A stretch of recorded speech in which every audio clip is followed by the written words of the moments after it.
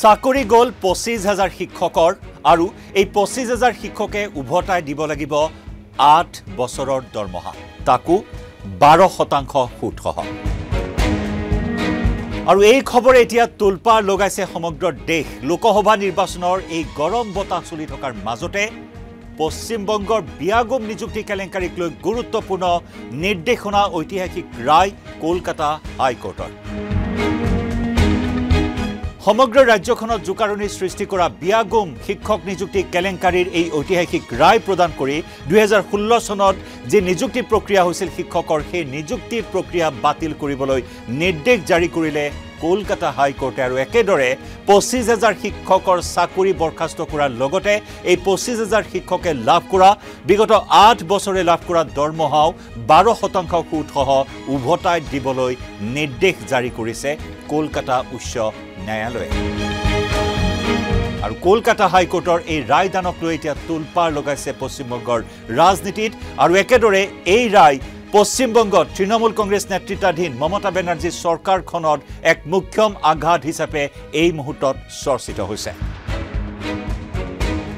উল্লেখযোগ্য যে দুহেজাৰ ষোল্ল চনৰ চৰকাৰী পৃষ্ঠপোষকতা আৰু সাহায্যপ্ৰাপ্ত বিদ্যালয়ৰ নিযুক্তি প্ৰক্ৰিয়া বাতিল কৰাৰ এই নিৰ্দেশ অনুসৰি পঁচিছ হাজাৰ সাতশ তেৱন্নজন নিযুক্তিপ্ৰাপ্ত ব্যক্তিয়ে চাকৰি হেৰুৱাব আৰু যোগদান কৰাৰ পিছত উলিওৱা দৰমহা বাৰ শতাংশ সুতেৰে উভতাই দিব লাগিব।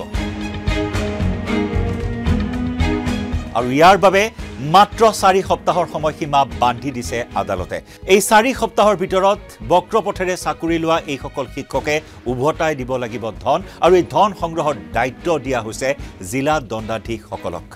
ন্যায়াধীশ দেৱাংশু বাছাক আৰু মহম্মদ ছাব্বৰ ৰচিদিৰ বিভাগীয় বিচাৰপীঠে খণ্ড বিচাৰপীঠে কয় যে খালী অ' এম আৰ চি জমা দিয়াৰ পিছত অবৈধভাৱে নিযুক্তি দিয়া বিদ্যালয়ৰ শিক্ষকসকলে চাৰি সপ্তাহৰ ভিতৰত দৰমহা উভতাই দিব লাগিব। আৰু এই শিক্ষকসকলৰ পৰা ধন সংগ্ৰহৰ দায়িত্ব দিয়া হৈছে জিলা দণ্ডাধীশক। উল্লেখযোগ্য যে বিগত বৰ্ষৰ নৱেম্বৰ মাহত ছুপ্ৰিম কোৰ্টে কলকাতা হাইকোৰ্টক নিৰ্দেশ দিছিল খণ্ড বিচাৰপীঠ গঠন কৰিবলৈ এই তদন্তৰ বাবে।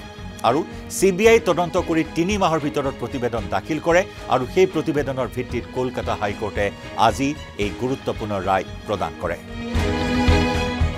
দুহেজাৰ ষোল্ল চনত চৌব্বিছ হাজাৰ ছশ চল্লিছটা খালী পদৰ বাবে তেইছ লাখৰো অধিক চাকৰি প্ৰাৰ্থীয়ে পৰীক্ষাত অৱতীৰ্ণ হৈছিল। কিন্তু চৌব্বিছ হাজাৰ ছশ চল্লিছটা খালী পদৰ বিপৰীতে পঁচিছ হাজাৰ সাতশ তেৱন্নটা পদত নিযুক্তি দিয়া হৈছিল অবৈধভাৱে। কেছ ফৰ জব আৰু এই নীতিৰেই টি এম চিয়ে চাকৰি দিয়াৰ অভিযোগ উত্থাপন হৈছিল আৰু যি অভিযোগক কেন্দ্ৰ কৰি তদানীন্তন শিক্ষামন্ত্ৰী প্ৰাক্তন শিক্ষামন্ত্ৰী পাৰ্থ চেটাৰ্জীও আনকি কাৰাগাৰলৈ যাবলগীয়া হৈছিল।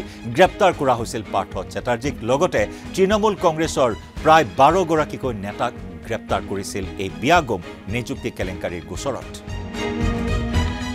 আৰু লোকসভা নিৰ্বাচনৰ এই হাই ভল্টেজ সময়ত কলকাতা হাইকোৰ্টৰ এই নিৰ্দেশনাই এতিয়া অস্বস্তিত পেলাইছে হলঠেকত পেলাইছে তৃণমূল কংগ্ৰেছক মমতা বেনাৰ্জীক। ইয়াকে লৈ বিজেপিয়ে উভতি ধৰিছে বংগকন্যা মমতা বেনাৰ্জীক।